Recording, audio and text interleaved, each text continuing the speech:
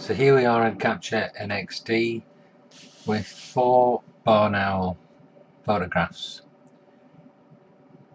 Now I have a, a number of adjustments that I use just for birds.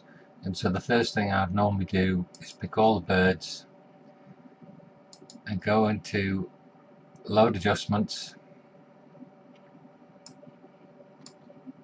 Pick the bird adjustments and as you'll see Capture NXD will start applying those adjustments to each image. That saves me loads of time. We'll just undo that. And I'll show you how I created my basic adjustments.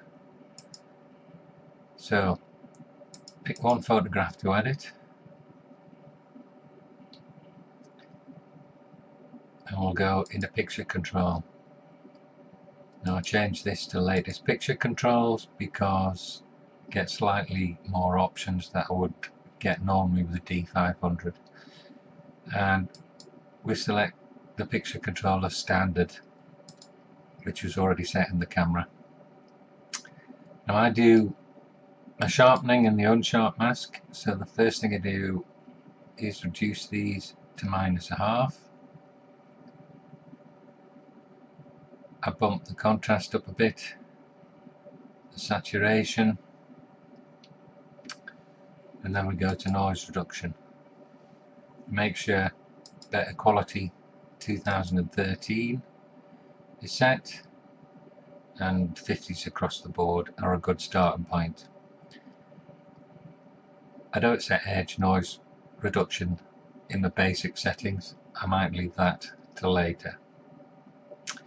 Then we go into camera corrections and we'll turn on a little bit of moire reduction and some axial co color aberration on and vignette control. There may be other ones depending on the lens that you use. The last thing I do here is I shall go in and do my own unsharp mask and my basic starting point is 40, 12 and 10 for the threshold. So they're my basic settings. I can now go and save all the adjustments or the, just the updated ones. We'll save them all and we'll just save them in a file called test. So now that's done,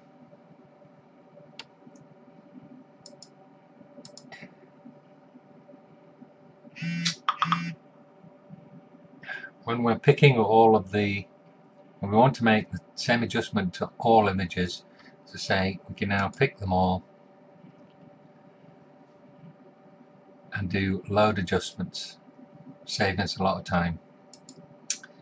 Anyway we'll go back to continue to edit this barn owl so the first problem that I notice is it's way underexposed. It wasn't a bright sky it was not far from sunset. The background is water and it's a lot brighter in the barn owl and um, it's underexposed. So let's bump the exposure up. Quite a lot. Making sure that we don't move any of this histogram off the right hand side because we would get blown highlights. So that's nearer where I want to be.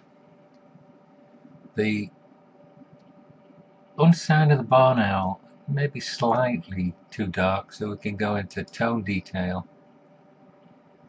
and just do a little bit of shadow recovery.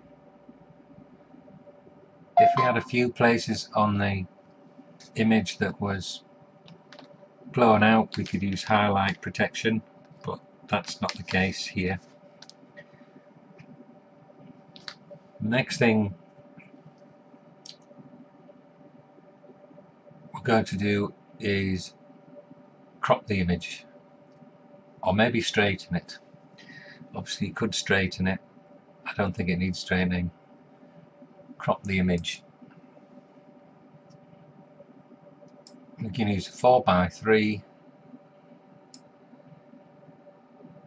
landscape crop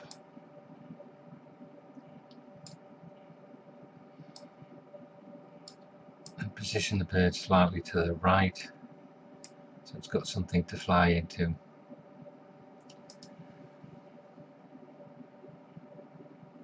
then I notice there's a, a very slight smear here that is probably on my sensor.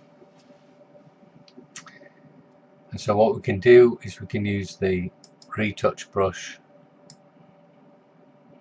to just remove that smear.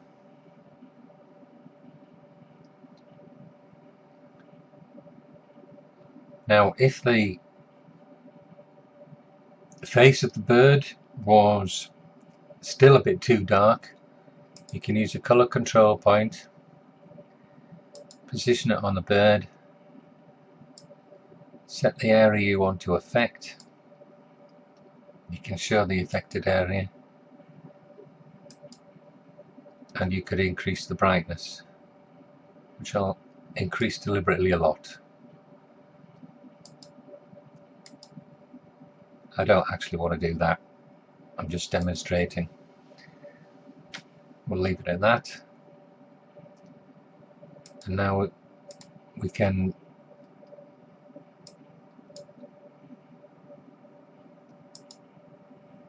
go to the curves sometimes I might adjust uh, if there's I might pull the blacks in a bit.